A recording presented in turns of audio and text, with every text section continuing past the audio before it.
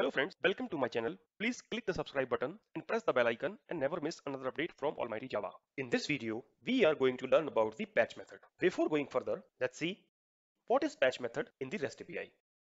The patch method is a request method supported by the HTTP protocol for making partial changes to an existing resource. The patch method provides an entity containing a list of changes to be applied to the resource requested using the HTTP Uniform Resource Identifier.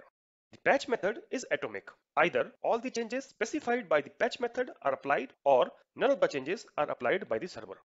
Patch method is not idempotent. It can be made idempotent by using a conditional request. But the question is, why is it not idempotent? Because when we are executing the patch request the very first time, then it will update the particular fields. But from next time onwards, patch expect the old value. But since the value is already modified, then it starts giving the error. And that is why patch method is not idempotent. But that statement not always true. Now the very important question is why we should use patch method. What is wrong with the put method? Using put, we can modify the changes, but the problem with the put is like we need the complete object, no matter all the property of the class you are going to modify or not. So if you are going to modify all the properties, then it's okay. Put is the best option. But what if you want to update only one or two values? Then in that case of put, it will update all the values, no matter property value is actually going to modify or not. So if there is no change in the property, then also put will modify all the properties. And if the object size is too big and there are some dependent objects, then put method end up with the performance issue. So I hope you understood something, why we need to go with patch instead of put. Don't worry, at the end of this video, you will come to know the importance of the patch method. I hope now we have a basic understanding. Let's see how to implement the patch method. Our project is already up and running. If you are following my videos, then you are aware about the book REST API project. Let's open the readme.md file. Here are the sample endpoints. Let's first test the get endpoint. See, it's working. Now, let's execute the post endpoints.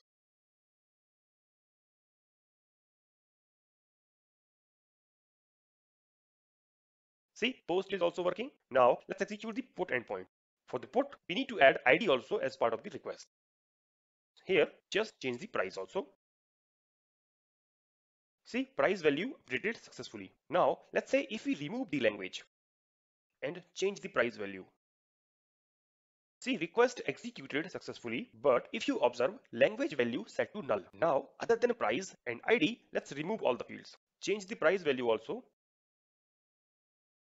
Now you can clearly see all the removed values are now null, but the price value still modified. So I hope you understood now, like the partial update is not possible using the put. If we try, then other values will replace with the null. So that is not the expected behavior. So this record is corrupted. So better, let's delete this record.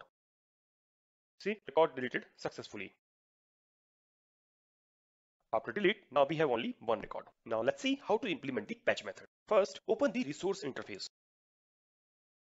So like we declared the other method, the same way, let's add the declaration for the patch method also. Like others, for patch annotation is patch mapping. Here, we are expecting the path variable as ID. Instead of path variable, we can pass the ID as part of the request body also. But just to make it simple, we are passing the ID through the URL. Now, let's declare the method. So here, one parameter is UUID, which is coming from the path variable. And another variable is a map of fields, where key and value both are the object, which will come from the request body key we can use as a string also. Here, just to make it simple, ID and fields be separated. See, declaration is simple. Now, let's implement this method in the book resource IMPL class. Here, ID is coming as a parameter, so call find by ID and get the existing book object. Add check like ID must not be null. So inside this if, code will look like same as update method. So copy and paste. Now let's implement the desired code. As you can see, there is one parameter which is a map. So let's iterate the map. Now we can use the reflection utils class, which is a part of Spring package. And inside this class, there is a static method and that method is find field, which can help us to identify the book class property using the key. As the key is an object, so we need to typecast to string and this find field returns field object. inside this field class, there is a method called set accessible and that value we need to set to true. Then only we can access through the reflection API, which is using internally by the reflection utils class, which is provided by the Spring. Like find field, there is another method called set field. So this set field will help us to update the value in the book object. And that's it. Don't worry, we will debug the code and check the output line by line. But this is the desired code. So for debug purpose, let's add the breakpoint. Now let's start the server in a debug mode. Server started without any error. First, let's save one record using the post method.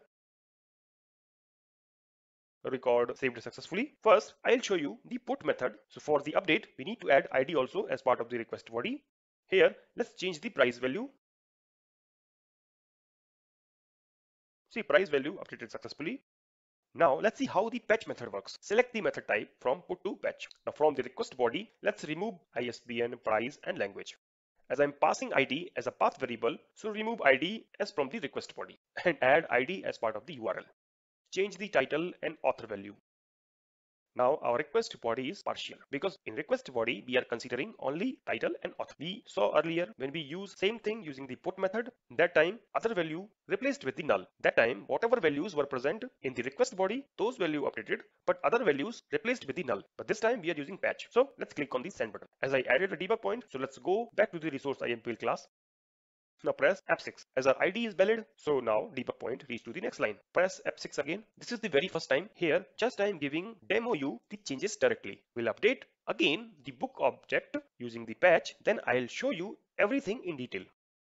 But here you can see request executed successfully. Here you can see the title and author value modified. That means our patch method is working as expected. This time let's modify other three values. So let's copy the other three values now let's change the values for ISBN, price and language.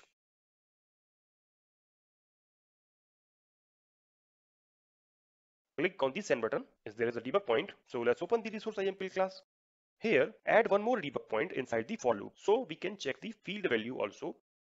Now you can see we are inside the loop and the field value is ISBN number and the type is long. Press F8 again and this time field value is price and the type is double. Press again F8 and this time field value is language and type is string. All three value covered. The press F8 again. See now we outside the loop. As I wanted to modify three values, so three values are coming as part of the map. Now press F6 for each step and F8 for directly reach out to the next debug point. And it's done. Now you can see all three values updated. Call the get method and you can see all three values modified properly. This time, let's update the only title.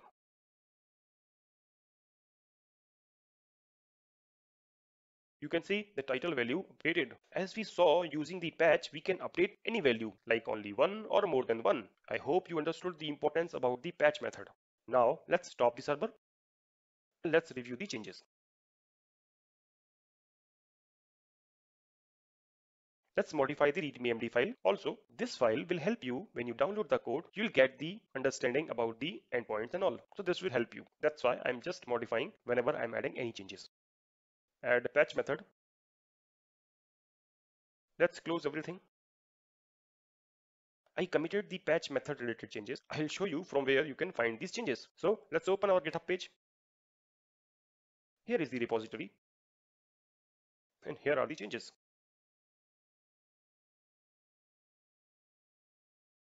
I hope you learned something from this video. That's it for this video. Next video, we will learn how can we cache the response using the REST. Please subscribe and press the bell icon. And thanks for watching.